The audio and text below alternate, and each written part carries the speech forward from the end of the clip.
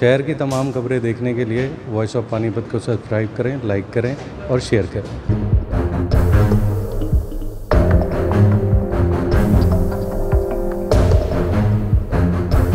ये अपने खेत में गेहूँ बो रहे थे और गेहूँ बोने के बाद वो नहाने के लिए जमुना के नज़दीक गया है और वही ये घटना हुई है थवाड़ा गाँव में एक ललित नाम के लड़के की डेथ हुई है जिस संबंध में उसके भतीजे ने जो बताया कि मैं उसके साथ गया हुआ था और कोई अननोन आदमी उसको गोली मार के भागे हैं। मामला है पानीपत ज़िले के स्मालखा कस्बे का, जहाँ पर गाँव हथवाला के रहने वाले एक युवक की गोली मारकर हत्या कर दी गई।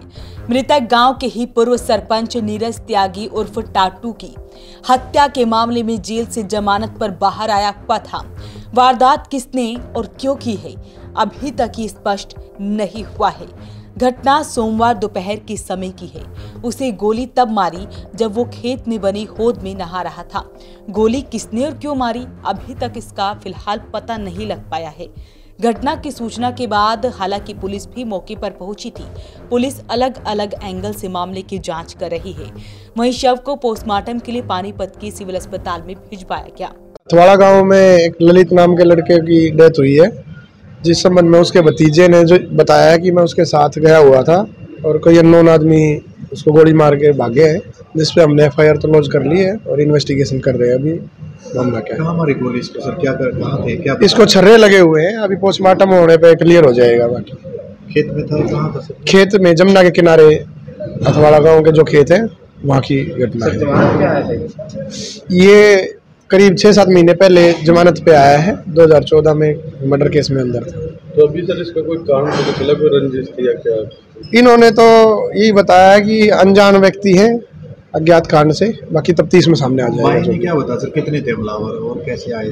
तीन बताए गए हैं अभी तक बाकी तफ्तीश में जो भी होगा क्लियर करके आपको बता दिया जाएगा मिली जानकारी के अनुसार मालखा के गाँव हथवाला का रहने वाला ललित सोमवार सुबह यमुना पार खेत में गया हुआ था।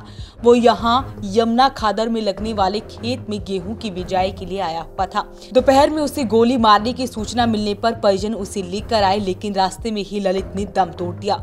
शव को घर लाने के बाद सूचना पुलिस को दी गई। बता दें कि एक जनवरी 2014 को हथवाला के सरपंच नीरज त्यागी उर्फ़ टाटू की डिकाडला व हथवाला के बीच घेर कर हत्या कर दी गई थी। इस मामले में कोर्ट ने 16 लोगों को सजा सुनाई थी। मामले में मृतक ललित त्यागी भी अभियुक्त था, जो कि कुछ समय पहले ही हाईकोर्ट से जमानत पर आया था।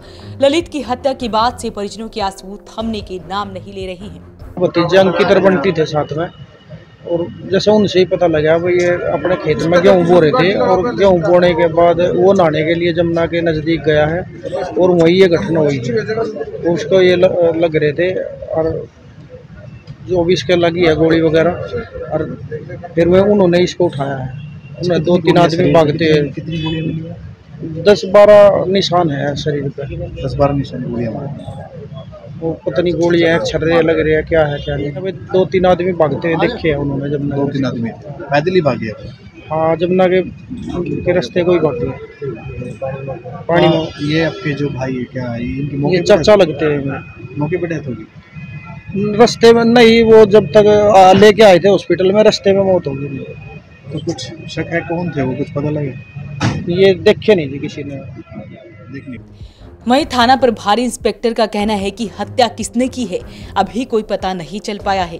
अलग अलग एंगल से मामले की जाँच कर रही है। वॉइस ऑफ़ पानीपत के लिए प्रदीप पांचाल के साथ कुलवंत सिंह।